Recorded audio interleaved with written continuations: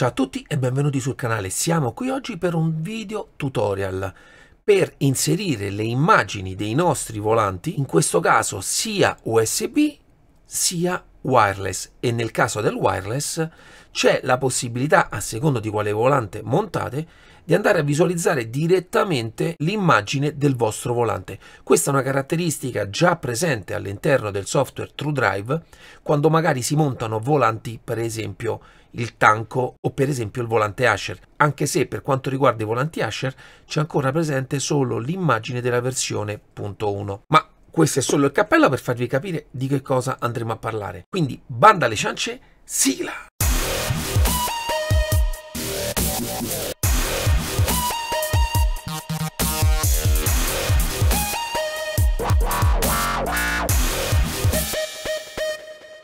Ciao ragazzi, come vi ho detto nell'antefatto, siamo qui oggi per un tutorial per spiegare come inserire le immagini dei nostri amati volanti all'interno di TrueDrive, sia per quanto riguarda i volanti USB, sia per quanto riguarda i volanti wireless. In realtà per quanto riguarda i volanti USB, la possibilità che c'è all'interno di TrueDrive è soltanto quella di cambiare l'immagine base. Che cosa significa? Che una volta cambiata quell'immagine, a prescindere quale volante USB voi andrete a montare, l'immagine che vi verrà mostrata sarà sempre quella che avrete scelto e quindi ogni volta se vorrete un'immagine diversa dovrete andarla a modificare. Per quanto riguarda invece i volanti wireless, la cosa molto bella è che a secondo del volante che utilizzerete e accenderete e collegherete al vostro TrueDrive verrà visualizzata l'immagine del vostro volante. In realtà all'interno di TrueDrive già sono presenti alcune immagini di volanti wireless. Ve li voglio subito mostrare. All'interno della cartella programmi SyncQ2 TrueDrive e all'interno della cartella Wheel, come vedete ci sono già dei volanti come i volanti Asher, eh, il volante di Sim Racing Bay il tanco e come vedete l'immagine del volante base, quella che viene visualizzata sempre. Voglio iniziare quindi subito a spiegarvi come andare a modificare l'immagine dei volanti USB.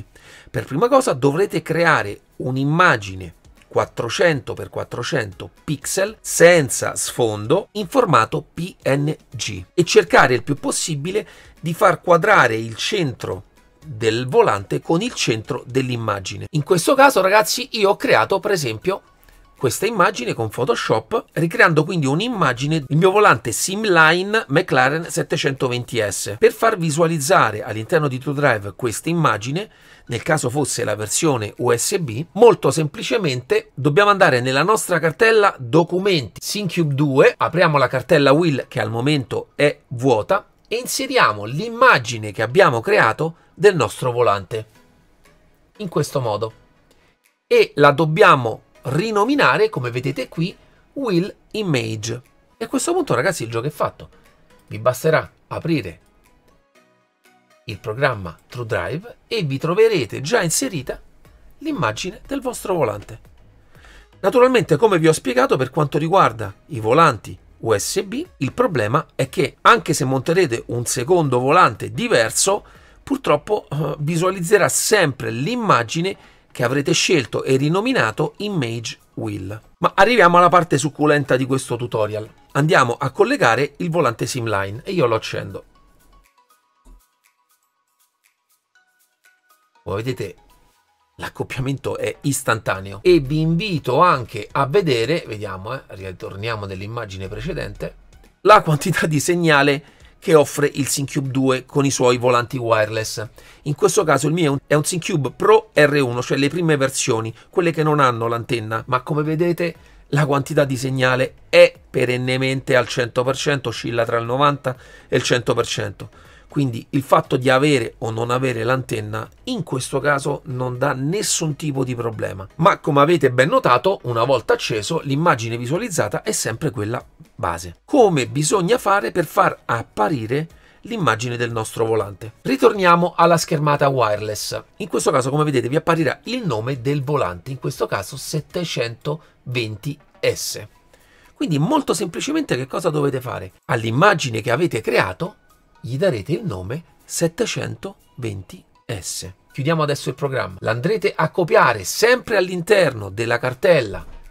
Documenti SyncCube 2 will, la copiamo qui all'interno, a questo punto possiamo chiudere tutto, riapriamo adesso l'applicazione TrueDrive, come vedete visualizza l'immagine base, adesso basterà accendere il nostro volante,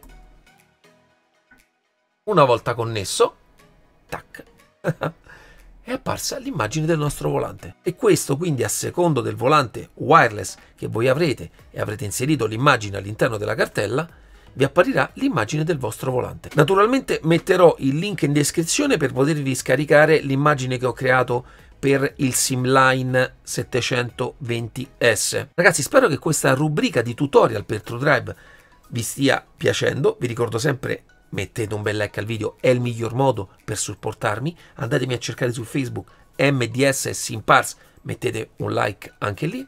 E ragazzi, che dirvi? Ci vediamo al prossimo tutorial. Ciao ciao!